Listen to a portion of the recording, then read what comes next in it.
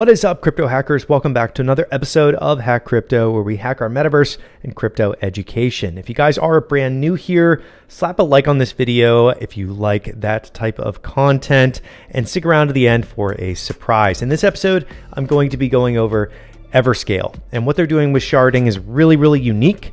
And what I wanted to do was break down how they're approaching these work chains and all the ways that they can improve what Ethereum 2.0 is doing through sharding. So if that sounds good to you, stick around to the end for a surprise. Now, first and foremost, a big problem in the crypto and blockchain space is throughput.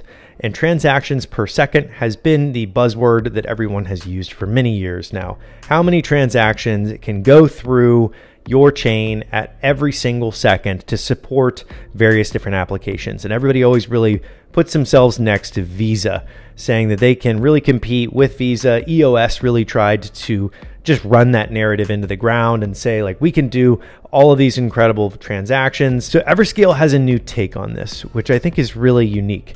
And it's through what they're calling work chains. And these are side chains that come in when their sharding approach gets even potentially close to overutilized. So when the master chain is actually getting utilized with a ton of transactions, the moment that it starts to even give an indication of getting bogged down, what happens is these work chains can be added to it. So it's a dynamic version of what sharding is doing with things like Ethereum 2.0. Now, if that sounds like a completely different language to you, it is just hyper complex things that are operating in the background with these L1 protocols. And there are going to be many cool innovations over the next couple of years here on L1s because things like Polygon and Ethereum kind of set the standard where Ethereum really got bogged down in early days with things like CryptoKitties and stuff like that. And people realized that scaling was an issue. So with L2s coming into the picture, like your Polygon and all these individual chains that are really trying to settle on the master chains later on and speed transactions through at a lower throughput cost to the user is a really impressive thing that we've witnessed over the last five years, especially here in crypto. It often gets brushed over and it is a very cool innovation. But the whole sharding movement that's taking place now, meaning that transactions are really sort of broken apart to help a lot more go through, it is a very unique time. So if you're brand new to the space in general, proof of stake is effectively people that can hold a certain amount of cryptos and operate nodes and they can host and govern the chain.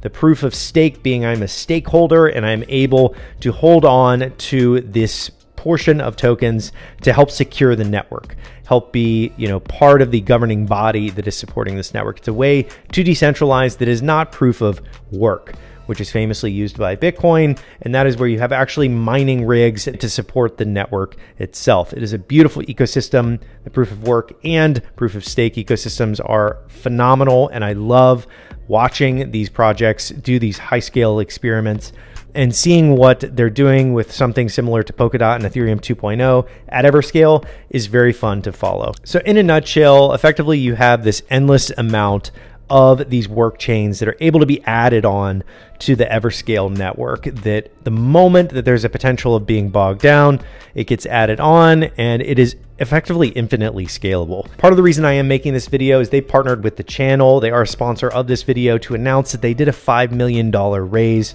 from a really awesome Abu Dhabi based fund called Venom Ventures. It's a billion dollar fund and they've invested 5 mil into this project.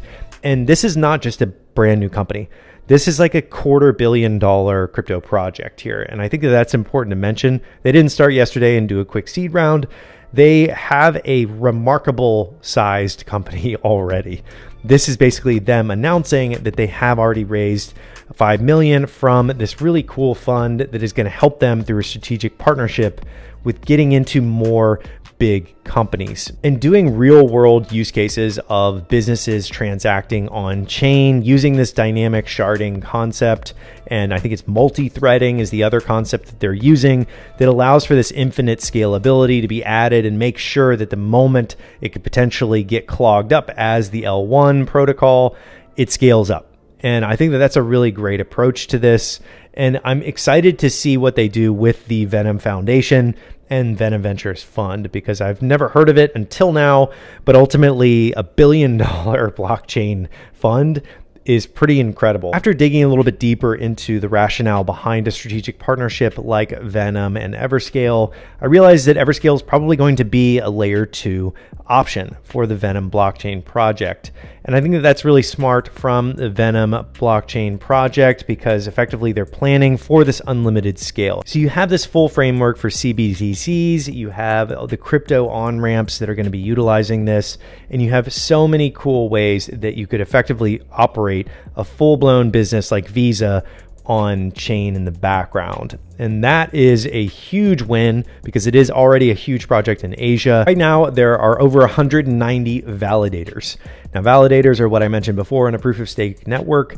They allow you to help govern and secure the network by participating in it. Now, a benefit of this video is they're not doing some sort of token sale or anything. This is literally just about announcing the partnership with Venom and that $5 million raise that they did. And this validator concept is really neat.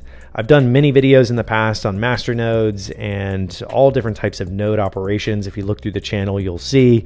And this is a really fun operation that they have with validators so that you can get involved in helping secure this network as they go out and partner with all these different businesses. At the time of recording this, they have exactly 196 global validators, 1.1 million accounts. They have 65 million total transactions. And for people that are not familiar with the space, that is a lot of activity taking place. So, with 25 plus working groups, that means that people are actually contributing to different ideas and testing things and developing things on the network. There's a lot of movement taking place. They have the Ever token, it's on various different dexes and CEXes, and all these different bridges and things like that are involved with EVM networks. And there's a ton of movement taking place here. And like I said, this isn't a new project. This is literally just an announcement that I wanted to work with them on because this is big with the Venom Ventures Fund. And I like the idea of them working with actual businesses, getting the payment rails in there, and using and testing this infinite scalability approach with sharding and having these work chains added on whenever they're needed, whenever there's a potential for the network to get bogged down through a bunch of throughput. Like, let's say the central bank in Abu Dhabi. Last things I'll mention, in addition to this announcement, I wanted to mention that they have a grant program. I know there are a lot of builders and creators watching this channel that have been fans for a long time, they have a grant program where you can go on there and you can apply for grants to develop on top of Everscale. Now, this is a really great opportunity for people that are going out there looking to build dApps and different projects. And I think that this is something that you guys should definitely research. There's opportunities, obviously, with their validators to become one, but ultimately, grants are a powerful way to get your toes wet. You can jump in, figure out how the tech works, and they have their light paper, their white paper that you can read through and figure out how to develop on it. They have the bridges, they have DEX listings, they have all these different things. And at a quarter billion dollars in market cap, you know, it's it's relatively low risk in the grand scheme of things here. So definitely check that out. That's it for my overview here of this announcement for Everscale, what they're about, what this infinite scaling concept is. And I hope you guys like it. The proof of stake and proof of work arguments are always interesting. So leave your comments below what you think about proof of stake, what you think about proof of work, and let me know your thoughts. And the surprise in this video is I'm moving studios. So I'm going to be moving studios over the next month. You'll probably see some different backdrops going on over the next month or so. But that is it for this episode. Will be new background very shortly here on Hack Crypto, and I will see you on the next episode.